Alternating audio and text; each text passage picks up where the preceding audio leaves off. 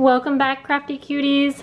Welcome to Paper Terrace. Today we are going to be doing like part five of the mass journal making overview. And right now we are getting to the point where we are finally going to take the page decorations that I have briefly showed you. And I did a video showing the 10 uh, 10 of my favorite page decorations, which are all included in this lovely box here. And we will be putting them into each of the journals. And I keep mentioning this, but I do this in assembly line order. So I do a lot of the same thing all at once. So let me show you my process for this. And again, I'm just giving you kind of a little overview. I won't be going through each one. So I'm gonna take the first journal that's um, the, the first one of the pile, basically. This is no particular order. And what I'm going to do is open this up, take the pages out, and now I'm going to start creating the signatures, which basically I'm just gonna be taking all of these folded pages and putting them um, one inside of each other to create this little packet of papers, these little, this little booklet and I'll probably do three or four signatures for each journal. I'm just gonna kind of play around and go through and remember that I have all kinds of different pages in here and envelopes and book or um, little bags and things like that. Just try to kind of mix it up so that everything's pretty even. So now that I'm kind of getting a better idea here, I think I'll probably do four signatures and we're just going to get these all in order. So now you can kind of see that no matter where the tab placement was on the pages, um, everything kind of gets out of order once I put them in their signatures, but that's still going to leave us with very spaced out tabs. I think I'll do one of these. And then we're left with a few extra little pieces here. I'm just trying to evenly space this, um, but if you can tell, I'm not exactly counting or anything like that. Uh, just kind of doing it as quickly as I can because I do have like 30 of these to do. So just start getting these in the order that I want them to be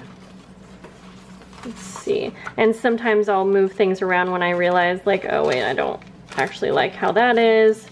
I try to make sure I don't have like two bags right next to each other just because I don't like that. We have one more little bag here so then I'll see where can it fit in and still be all evenly spaced out. Let's see, what's in this one? Oh, this is just an extra page.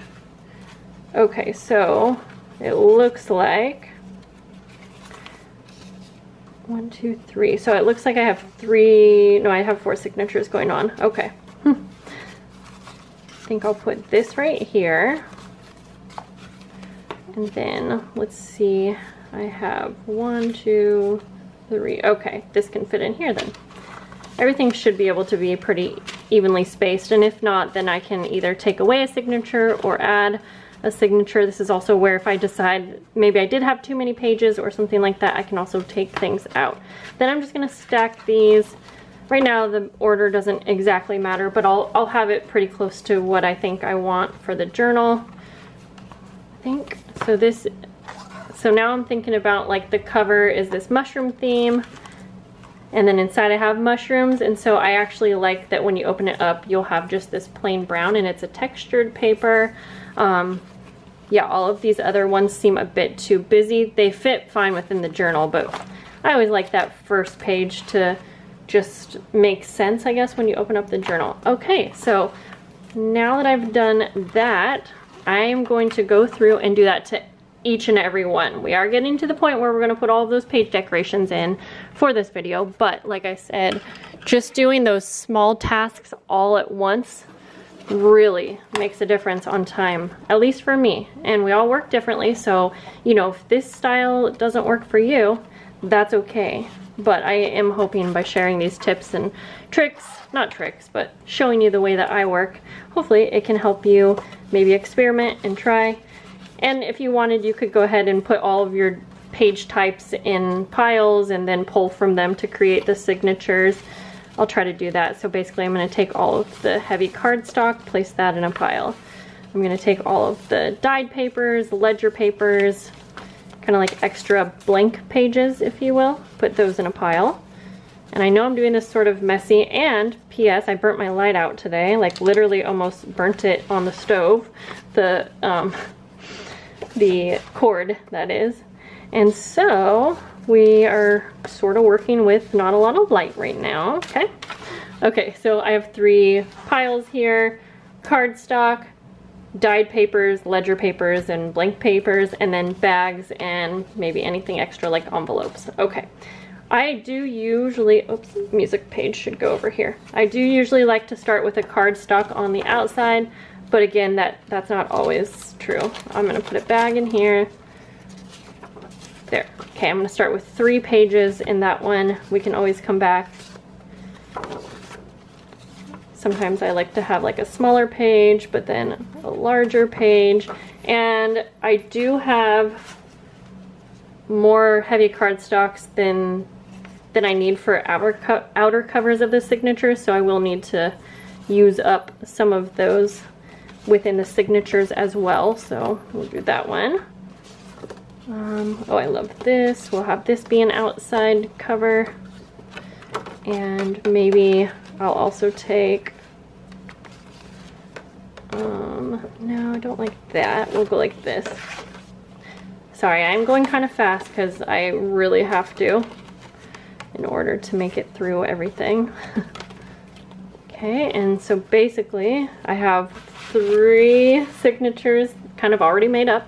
So I only want maybe one more. Now it does seem like I have more pages in this journal than the last one, which could very well be, I can't remember right now, but this is a little bit of a bigger journal and that's probably why. So if I need to, I'll make five signatures, but I am gonna see if I can do four. I just kind of like the even numbers. However, I have a lot of leftover pages, so I can't, I definitely am not gonna just stuff those into the already made four signatures because if you didn't know this, it's can get really hard working in an overstuffed signature and it's one of the top reasons why things become too bulky in your journals and it's hard to like open the pages and have them stay shut. So when in doubt, take some out.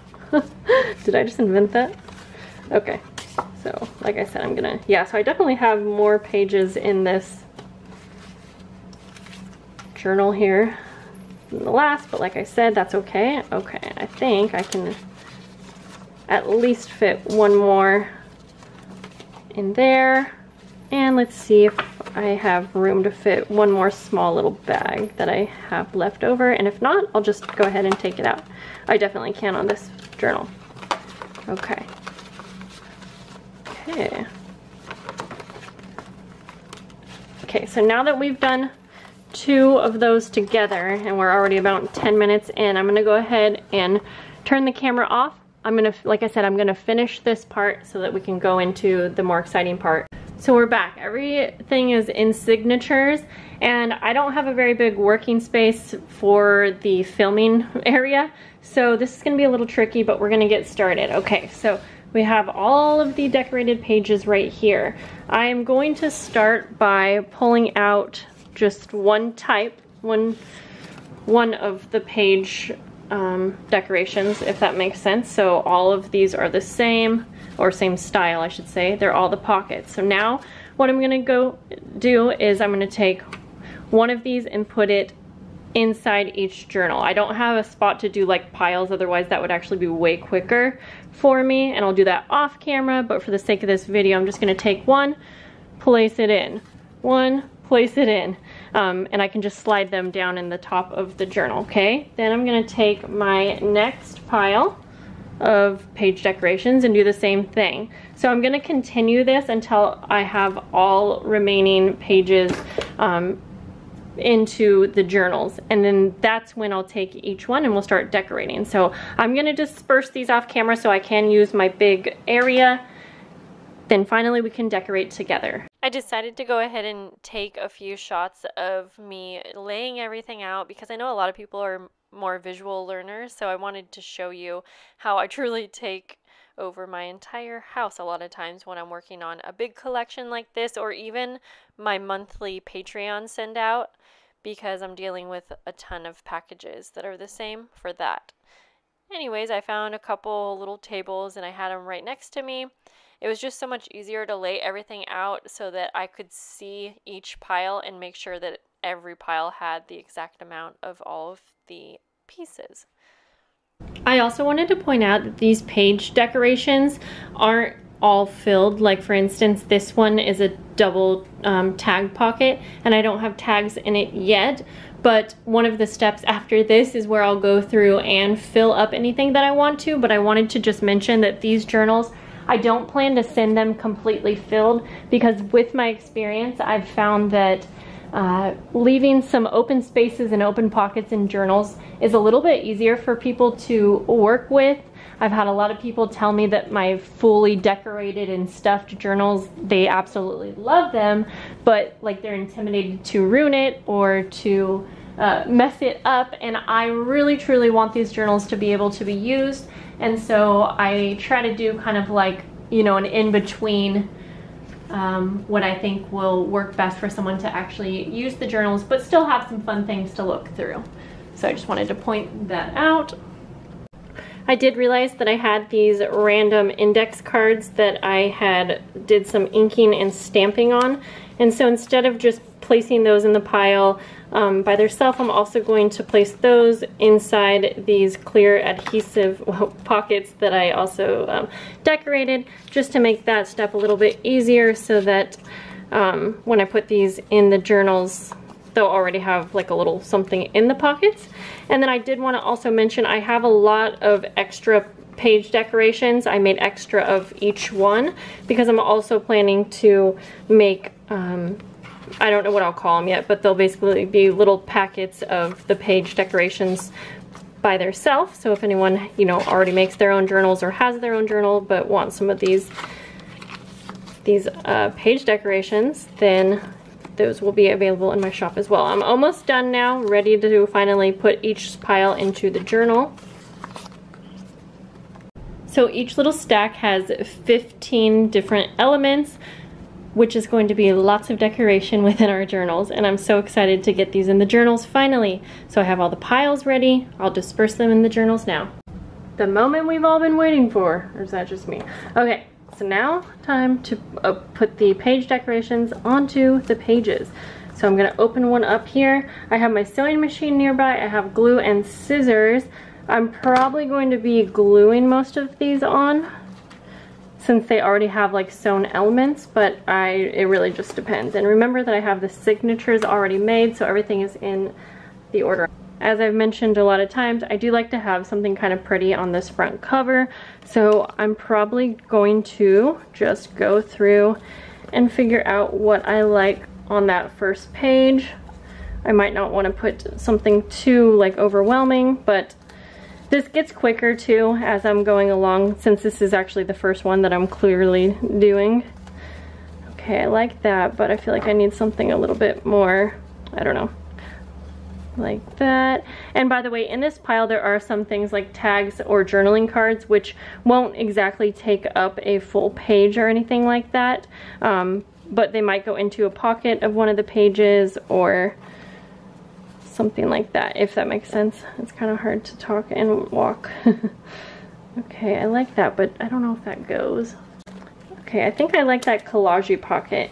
And so for instance, this fabric tag, I might actually go ahead and place in here. Not for all of these, but I might do that. And I may end up adding some additional decorations per journal because every journal is kind of its own thing. And so whatever I'm feeling with that one, so those last minute touches will get applied um, in the next step because again if I get too if I get too off on tangents that's not the right word but per journal it's just like a conversation. It's just gonna take forever and I'm never going to finish. So I like to finish each step because it actually feels good and it's more motivating to finish a full step and be able to move on. Um, I may also want to place like over on this side a clear adhesive pocket, but again, that will be in the next step. So I hope I'm making sense here. Now remember, I have lots of page decorations to add um, into each journal. So I think I'm gonna do this one. This, if you didn't see, this is a pocket on top, so I'll make sure that that's going right side up. Um, actually, I think maybe I'll go ahead and place it right here, actually. And I'm gonna, for this one, I'm just gonna glue onto the actual paper. And I'm gonna glue three edges. I do this a lot to create a pocket so that you'll see what I mean. When I place this down, now there's also kind of a little hidden um, side pocket as well. So you'll be able to put something in the top loading pocket and now in here as well. Okay, so I'm just gonna kind of flip through and figure out like where I want things. Um, if I wanna keep something blank because I don't, I'm not gonna make it a rule that I have to use up every single piece um, in the page decorations because I don't want things to be too overwhelming. Um, and if I have leftover, what I'm gonna do is just include it in the journal for the recipient to use um, however they want. So I'm gonna go ahead and place this down as a belly band. So I'm just gonna glue down one side here since I did make, you know, these all together in one go, some things might be off just a tiny bit on size. Like if you see this is obviously too wide. Um, it wasn't quite long enough to go up and down. So I'm actually just gonna fold that around and have that be a cute little um, kind of snippet piece on this side. But there may be a few times when I have to trim something down just a tad bit.